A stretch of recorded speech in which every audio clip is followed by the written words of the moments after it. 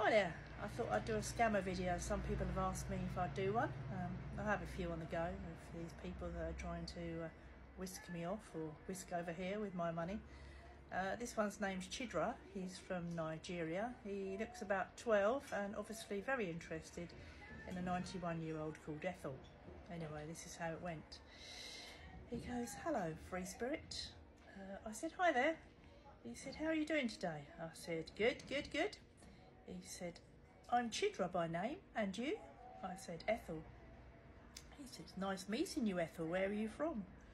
I said, Outer Mongolia. He said, It's nice meeting you once again. How was your day today? I said, Good, thanks. Where are you from? Guess what? Nigeria. I hope your day was good. That's good. Yes, my day was good, thank you. You're welcome. So uh, he said, Have you eaten? It's a bit strange, wasn't it? I said, No, have you? He said, Yes. I just got back from work. Are you working now? I said, Yes. Okay. He said, Have you eaten lunch? I said, Yes, I have. What did you eat? He said, I've just finished my lunch now. I said, Lobster and crabs. He put a little heart on that. He said, I had rice. Poor bugger, we only have rice. I hope you enjoyed it. I said, Yeah, I loved it. He said, Are you still at work? Welder is my occupa- occupation, and what about you? It's like you are busy. Obviously, didn't answer him straight away.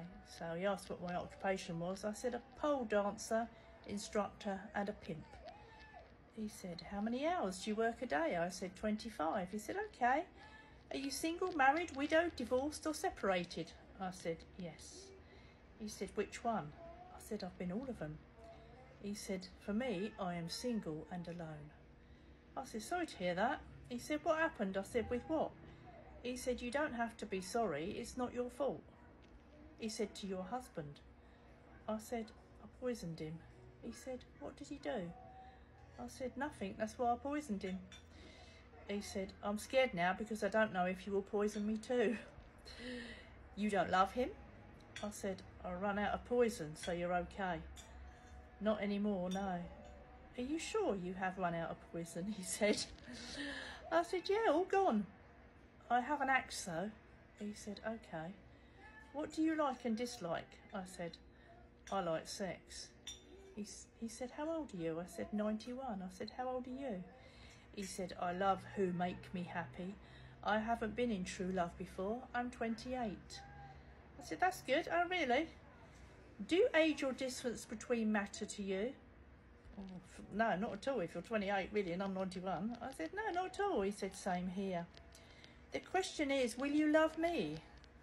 I said, Of course, I love everyone. He said, It's not about loving everyone. I am a man with a soft heart, loving, caring, honest, compassionate, and affectionate. I also believe in God. If you do, why are you scamming me? I said, That's good. He said, I like a very understanding life and I'm easy to talk to, am dependable and loyal, and I respect women a lot. That's good too, good to hear. What kind of a man are you looking for? He said, because I strongly believe trust and understanding the key to every relationship. I said, a strong young toy boy. Absolutely.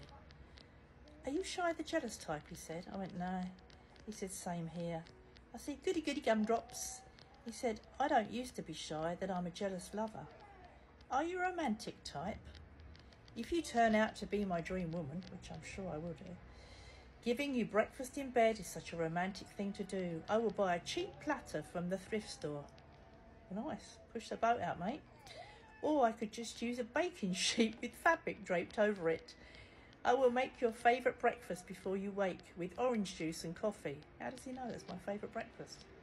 I will place a couple of tea light candles next to your nightstand, obviously from the cheap store as well. They are very cheap. Oh, they're very cheap and light. I will then place a rose head or other flower head onto a small container or glass and place it in the platter.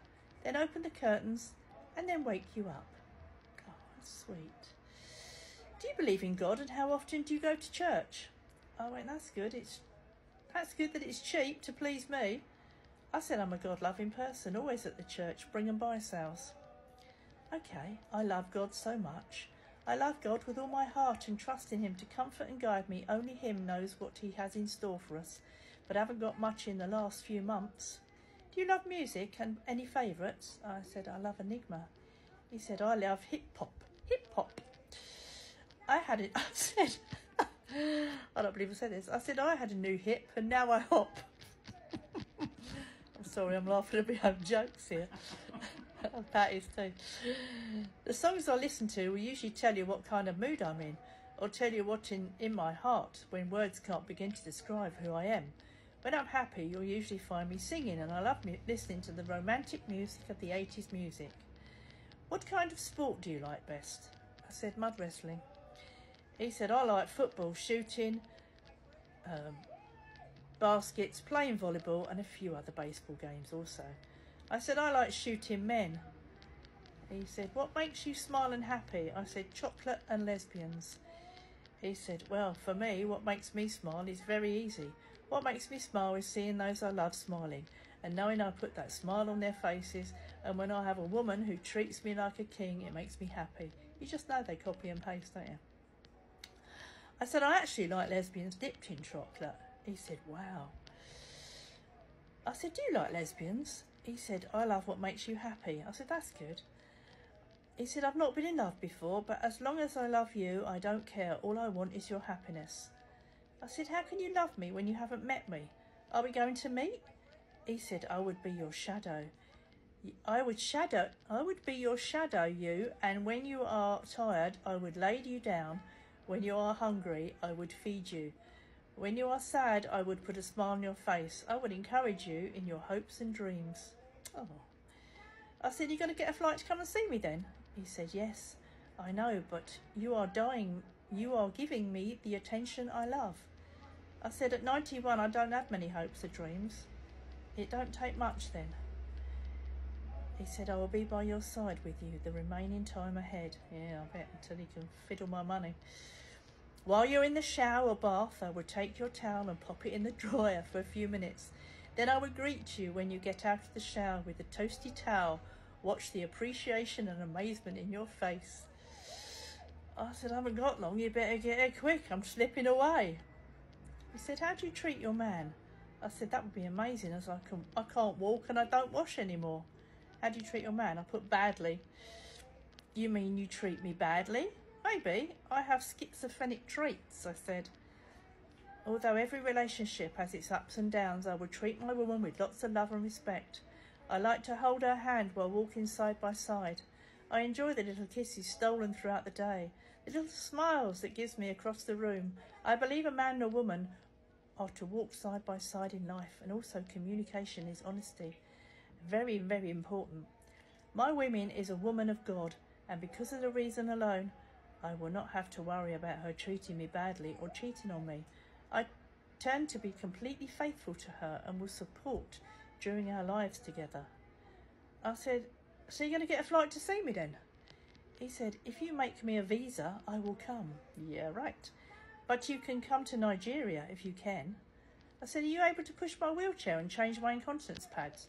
I dribble quite a bit. I'm blind, deaf, and unstable, understandably for a 91 year old. Yes, my queen, he said. Okay, I'll come to Nigeria. Are you able to send me the flight money and meet me with a wheelchair? He said, I will take care of you.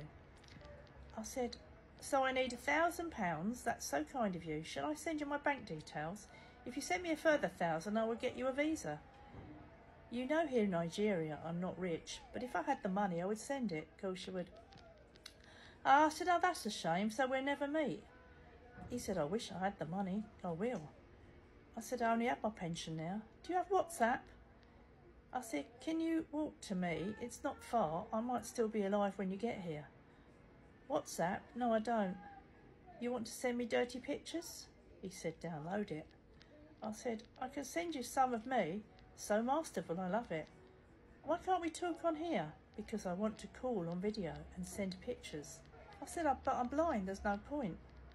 Anyway, we're going to have to go on part two now because I've run out of time. So catch you on part two.